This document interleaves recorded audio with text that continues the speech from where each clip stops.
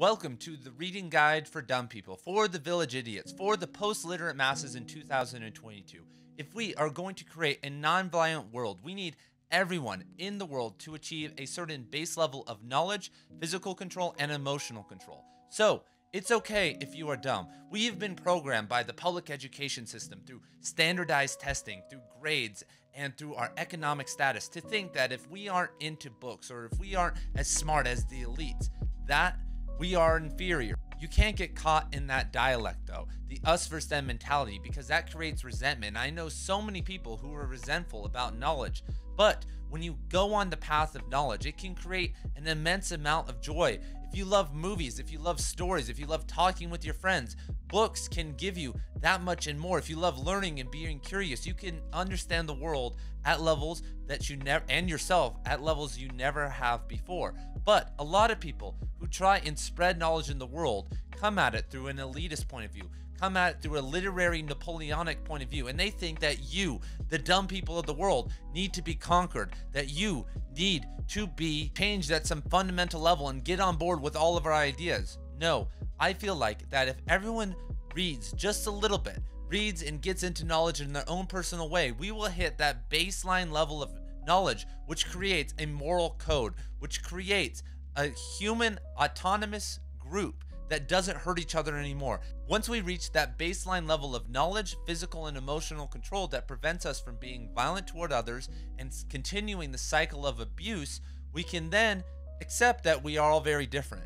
and then move on from there. But we need to start from where we're at, which is that most people since high school, since college, have not continued reading, that they suck at reading. I know, I know I have a friend and she can't even read because she can't sit down and focus. I could show her a book, for instance, and she couldn't, she can read, I guess, signs and stuff, but she doesn't even have the focus and the energy to read. So let's start off with some tips for those people, the people that can't, who know, eh, you know, who know how to read, but can't seem to read. Tip number one is that you need to get more into movies. You need to get off of social media, right? You need to move away from social media and you need to get into storytelling. You need to start to move and lean into storytelling and good storytelling because if you become a connoisseur of movies, eventually there are movies out there that are adaptations of books. And you could start off very simple. The Twilight series, the Harry Potter series. It's almost like ELL, English language learners type stuff. If you want to get back into reading, you need to lean into it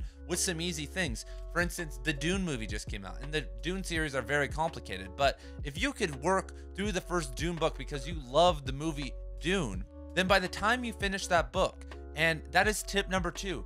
That if you are reading a hard book like Dune, for instance, whatever you don't understand, or maybe even from the start, you just need to read slowly and read out loud. Shut your phone off and read it out loud. And if you read it out loud slowly to yourself and repeat things you don't know and take it line by line, that is the number one recommendation for to gain literacy in any language. And I know so many people who have, including myself, because at one point I was dumb, everybody. When I was in college, my freshman year, I suffered multiple concussions from just being an idiot, right? Being the village idiot, uh, skiing accidents, longboarding accidents, falling down while drunk. I cracked my head open three times in two months and got knocked out each time. And after that, I literally couldn't read anymore. I couldn't think. I didn't have the focus. So what I had to do was I had to read out loud almost for an entire year to gain at least a semblance of being able to focus and listen. I understand that reading out loud may seem silly, but for instance, when I read poetry, I'm a huge poet and love reading poetry. I read all the poems out loud still because it resonates differently. It does something to your soul when you read out loud. I think it increases literacy and understanding. And tip number three is that before you read a book, so if I'm going to read this book right here, The Sibling Society, I should read, maybe flip through it, maybe read some summaries online. This is a huge tip that you should x-ray the book. You should understand what's in the book. Maybe understand what's in the chapter. Kind of flip through the chapter and understand what you're going to read before you're going to read it. And that kind of goes back to tip number 1 that when you watch a movie, when you watch the Harry Potter series, you know what's happening so that you can fill in the blanks that if you don't understand something, you don't get caught up on it. That's something you don't want to do. That if you're reading something and it's a little bit too hard, and even if you're reading out loud and you can't get what's happening, it may be a major point in the story, and then you're confused for the rest of the story. So you want to prevent yourself from being confused. And the best way to do that is to preview what you're going to read. And another recommendation for novels, especially if you're really trying to get back into it, is that you read the summary online before you do it. The fun of reading is in the journey, not in the surprises or the climax. Vince McMahon, the CEO of the WWE, said that if you gave him enough time, he could sell out a stadium for a fight between two broomsticks. People know that pro wrestling is fake and still show up. MMA most of the time is very boring, but people don't show up to see the punches and the kicks and the takedowns. They show up because of the storylines. That's why there's so much emphasis, for instance, in MMA or in football on all these storylines.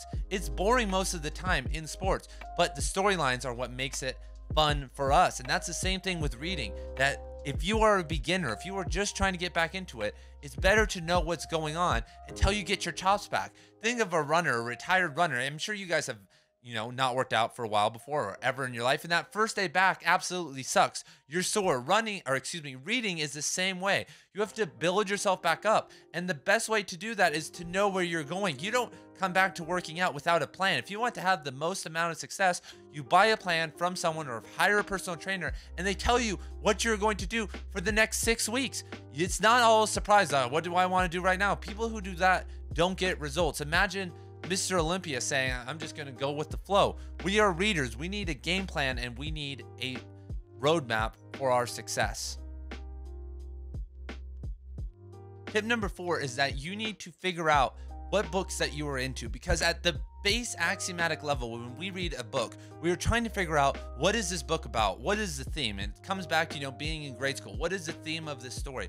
That's what we want when we are reading a text. So you need to figure out things that fit your vibe. And at the start maybe you don't know. And that's why you read summaries and work your way through it. And but once you know then that will help you accelerate your growth. Next, tip number five, I think. You need to learn how to underline. You need to start underlining. I have right over here a multicolor pen that I am always using. I'm always underlining and doing different colors, which meant things to me, that's a little bit complicated. You can also tab, you can also divot the page. For a long time, I would do this. I would just highlight whole sections like this. I want to underline. If you're a little bit lazy and don't want to underline, you can do this section. And I'm inspired by this book. If you guys want to dive a little bit deeper into becoming a better reader, I'm going to be covering a lot more of this on the course. It, it there's this book right here called How to Read a Book by Mort- Mortimer J. Adler. And this is a great book. I'm re- reread this a couple times. Like I said, a veteran, someone who's read over 2,000 books. I'm still trying to become a better reader, reader, a better active reader, a better even superficial reader when I need to be. And tip number six is that you need to understand that you're not just doing this for you. You're doing this as a part of society. That knowledge and the path to higher consciousness requires you to become selfless at some level. That the hedonistic path, the path of pleasure, if you don't know what that means, is very tempting and you should take that path at times. I'm not saying to give up things. I'm saying that you need to make small replacements. Social media is great, but how much time do you need on social media every single day? If you dedicate 30 minutes a day to reading, you should be able to finish three books a month or so. That is 150, excuse me, 36 books a year. That's a great start. 36 books a year could change your life. For instance, if you read 20 books on personal development or business, you your life could change in terms of the money you're making or how you approach life or your job. You could be happier on that end. If you read 30 books on poetry, you could have more of an understanding of the deeper web of life and experience or fiction. You could understand multiculturalism. If you read books on the economy, you could become an informed person year by year on different topics or just over the course of 10 years. Over the course of 10 years, if you read 30 minutes a day, you could have read 350 books. That's insane.